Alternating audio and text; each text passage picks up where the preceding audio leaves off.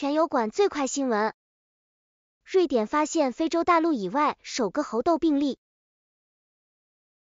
八月十五日，瑞典国家流行病学家马格努斯·吉斯伦、公共卫生署代理署长奥利维亚·威格泽尔和社会事务和公共卫生部长雅各布·福斯梅德在瑞典首都斯德哥尔摩举行新闻发布会，通报有关猴痘病例的情况。世界卫生组织和瑞典宣布。瑞典发现非洲大陆以外首个 I 型猴痘病例，这是该病毒在非洲大陆以外传播的第一个迹象。路透社报道，瑞典卫生官员星期四在新闻发布会上说，该患者在非洲感染了最近疫情中涉及的 IB 型猴痘病毒，正在接受治疗。公共卫生专家、华盛顿乔治城大学法学院教授劳伦斯·戈斯汀说。欧洲大陆出现病例可能会促使猴痘迅速在全球传播。瑞典出现病例很可能意味着欧洲有数十个未发现的病例。剑桥大学的布莱恩·福格森说，考虑到非洲疫情的严重性和蔓延性，瑞典旅行者的病例令人担忧，但并不令人意外。他说，这里和世界其他地方可能会出现更多病例，因为目前没有机制阻止猴痘病例的输入。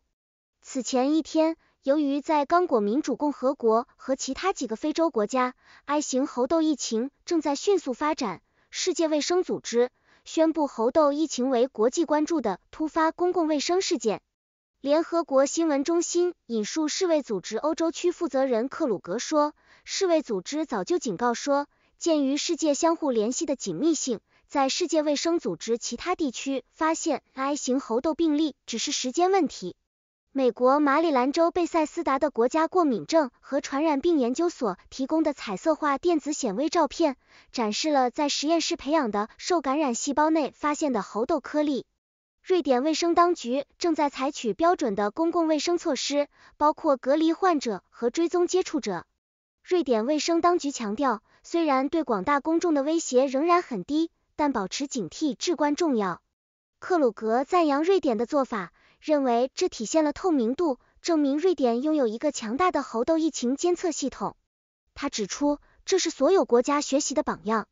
克鲁格再次敦促欧洲和中亚的所有五十三个成员国加强监测，以发现猴痘病例，发布合理的公共卫生建议，并加强疫苗和抗病毒药物的使用。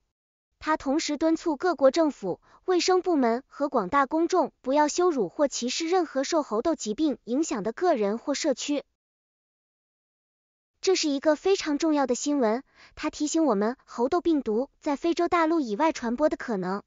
瑞典的做法值得赞扬，透明度和强大的监测系统是所有国家应该学习的。我们需要加强监测，预防更广泛的疫情爆发。这是一则重要的新闻。我们不能忽视它。订阅新闻极速递，最先知晓天下事。